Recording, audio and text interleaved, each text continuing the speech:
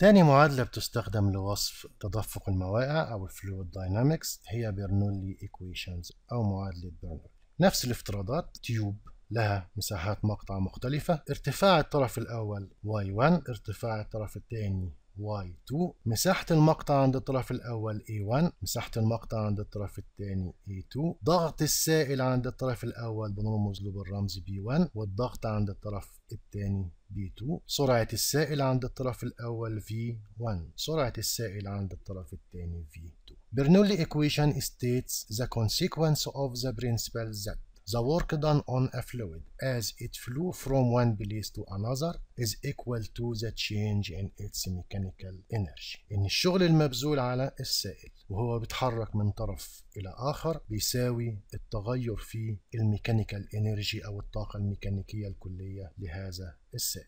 بيصل في النهاية للمعادلة اللي قدامنا اللي إحنا بنسميها معادلة برنولي. P1 ال pressure عند الطرف الأول rho في ال g في ال y 1 ال potential energy per unit volume عند الطرف الأول plus نص rho v 1 تربيع اللي هي ال kinetic energy per unit volume مجموع الثلاث قيم عند الطرف الأول بيساوي مجموع الثلاث قيم عند الطرف الآخر أو the pressure plus the total mechanical energy per unit volume is the same everywhere in the flow tube هقف هنا بس نقطة بسيطة. واحد هيسألني إحنا قلنا إن ال kinetic energy بتساوي نص m v تربيع. إيه معنى ال kinetic energy بال unit volume؟ لما أقسم نص m v تربيع على الحجم الكلي اللي هو v بطلع طاقة الحركة لوحدة الحجوم. طيب ال m بتساوي إيه؟ بتساوي ال rho الكثافة في الحجم. فاختصر ال v مع ال v يتبقى نص rho v تربيع. يبقى المقدار ده هو طاقة الحركة لوحدة الحجوم نفس الكلام بالظبط بالنسبة لطاقة الوضع اللي هي ال m في ال g في ال y لما أقسمها على الحجم الكلي تعطيني rho في ال g في ال y أو طاقة الوضع بالنسبة لوحدة الحجوم هناخد مثال مهم على معادلة برنولي ومعادلة الاستمرارية مع بعض. Water with density rho equal 1000 kilogram per cubic meter moves in a pipe of radius 4 cm with speed يبقى اعطيني نصف القطر عند الطرف الأول وسرعة السائل عند الطرف The pipe goes up at height of 5 meter. ال tube ارتفعت بمقدار 5 متر يبقى اعطيني فرق ال elevation ما بين ال two ends. And its radius become 2 سنتيمتر نصف القطر حصل له reduction من 4 سنتي إلى 2 سنتيمتر نشوف المطلوب. Give the speed of the water at the upper side of the pipe. احسب لي سرعة السائل في الجزء العلوي يبقى مطلوب مني أحسب V2.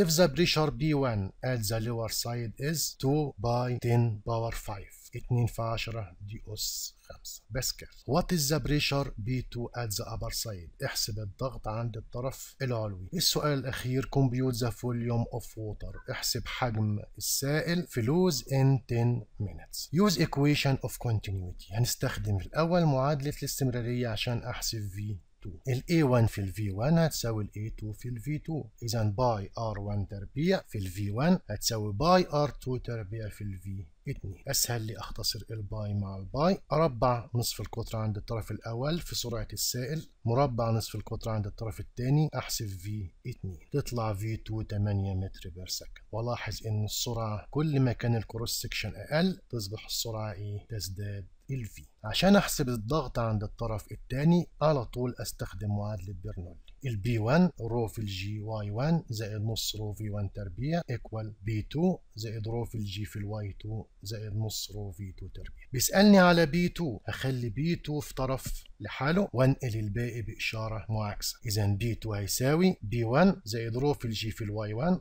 زائد نص rho v 1 تربيع minus rho في ال g في ال y 2 minus rho نص rho في ال v 2 تربيع. أسهل على نفسي. اخد ال rho في ال g عامل مشترك يبقى y 1 ناقص y 2 واخد نص rho من طاقة الحركة عامل مشترك يبقى v 1 تربيع ناقص v 2 تربيع. عندي p 1 قيمتها موجودة. الكثافة أعطيهاني. الجي تسارع الجاذبية الأرضية تقريبا 10 y 2 ناقص y 1 اللي هو الفرق في ال elevation كانت ال tube بالشكل ده. الراجل عاطيني المسافة دي. المسافة دي بتمثل لي y 2 minus y 1 إذا y 1 ناقص y 2 هي سالب القيمة اللي عطاني اللي هي سالب 5 ال rho موجودة الفرق في السرعات مربع ال 2 4 ومربع ال 8 64 حسبت ال pressure عند الطرف الآخر. ألاحظ حاجة مهمة إن السرعة لما تزيد الضغط يحصل له إيه؟ يقل يبقى في حالة التدفق أو السريان. نصف القطر قل تزيد سرعة السائل يقل ضغط السائل. السؤال الثالث بيقول لي احسب لي حجم السائل المتدفق. ودي هسيبها لك بقى تحسبها. ال delta V هيساوي ال Q في ال delta t يبقى هستخدم أي معادله احسب منها ال Q A1 V1 أو A2 V2 نفس القيمة مش مشكلة. ال A1 موجودة ال V1 وال delta t احسب الحجم اللي هيمر في زمن مقداره delta t